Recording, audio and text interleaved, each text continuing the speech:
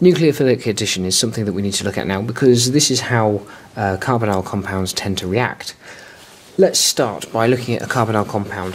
So here's my carbonyl compound. I have the C to double bond O, um, and we have a delta plus at this end and a delta minus at this end. That's because the electronegativity of the oxygen draws the electron density in this pi bond across towards the oxygen, leaving a delta plus here. Now wherever we have a delta plus we can have a reaction with a nucleophile and if you remember nucleophilic substitution um, we achieved that previously with a with a chlorine atom bonded to a carbon atom with a single bond but now we have a double bond things are going to be slightly different. We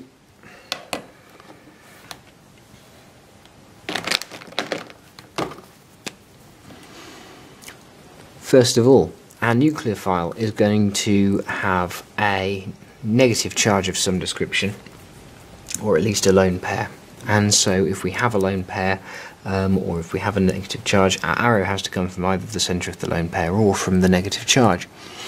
This pair of electrons is going to form a new bond between the nucleophile and that delta plus carbon atom the, the electrons in the nucleophile are attracted by the electron deficient centre on the carbon. This will form a new bond between the nucleophile and the carbon atom, but carbon cannot have five bonds, so we're going to have to break one of the existing bonds. And because the uh, CO bond here is a double bond, we're going to have the oxygen gaining the electrons in this bond, and that leaves us with the nucleophile now attached to the carbon atom. It's lost its negative charge because it's donated its electrons to the carbon.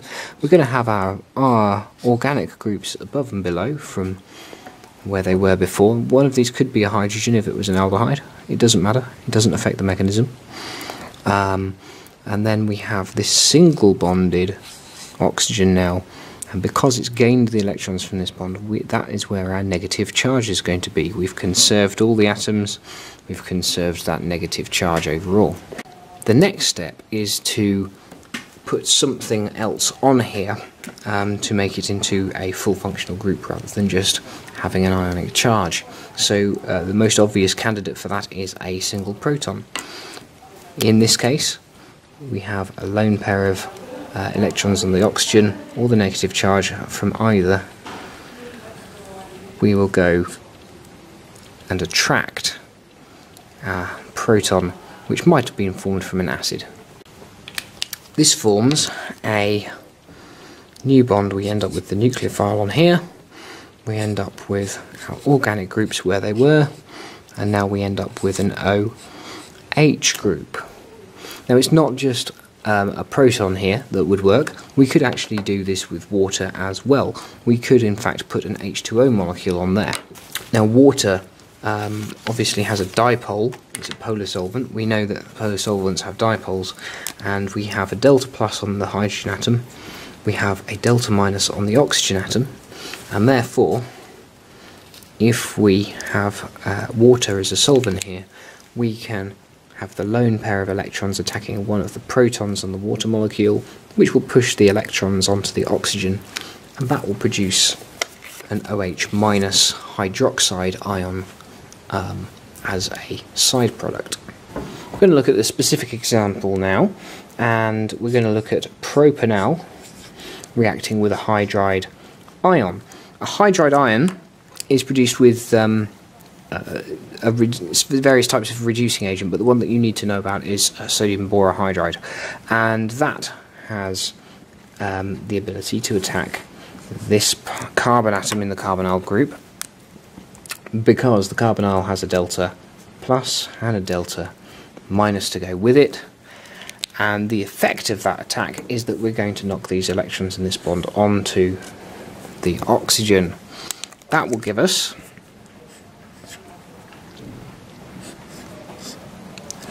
O minus group on here, the hydrogen's going to go on there. Because I'm doing it skeletal formula, um, I don't actually have to mark that on.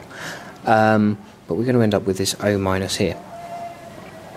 In this specific example, we're going to need something uh, here to react with the O minus to make it into a whole neutral molecule again. And with this specific example, um, it's water that we're going to use to donate our proton. Um, and the reason that water is going to work, of course, is that we've got a dipole here, delta plus, delta minus. The lone pair on the oxygen with the negative charge is going to attack this hydrogen here. It's going to donate over um, onto the oxygen and then we're going to break this bond here back onto the oxygen. That's going to produce our alcohol and so what we've done here is we've basically taken the opposite of what you learnt in AS. We took in AS a primary alcohol, we distilled it with an oxidizing agent, and we ended up with an aldehyde. Uh, now we're taking aldehyde, we're using a reducing agent to go the reverse direction. And what becomes the water molecule? Well, the water molecule is left as an OH minus a hydroxide ion. Second example is to take um, a ketone or an aldehyde again, uh, which might be something like propanone, uh, and we're going to react it with a cyanide ion. Now, this is usually sodium cyanide. Um, you can use hydrogen cyanide, but it's incredibly toxic and um, quite dangerous to use. Um, smells of almonds. So if you smell almonds in a lab, run. Um, incidentally, the other chemical that smells of almonds is benzaldehyde. Um, so in that case, you don't have to run.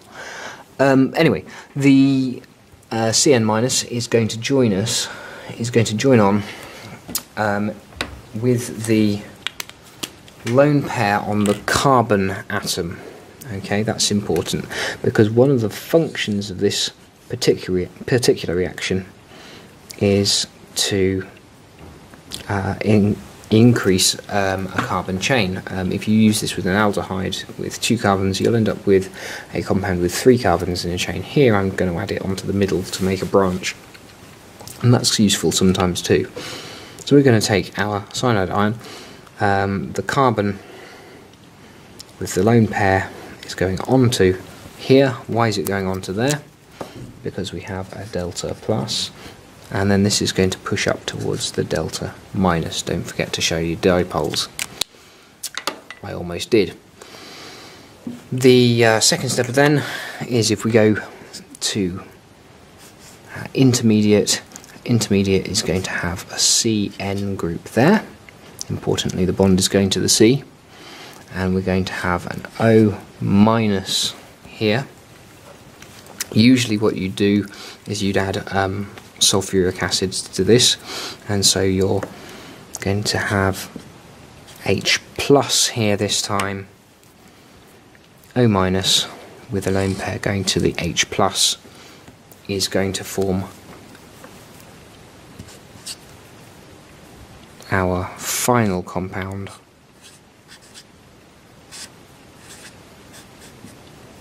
which looks like that. This can be called a cyanohydrin.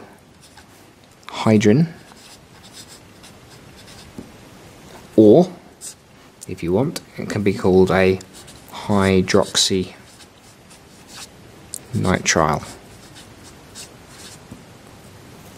okay so that's uh, uh, two names that you might be um, uh, might need to be familiar with cyanohydrin and hydroxy hydroxynitrile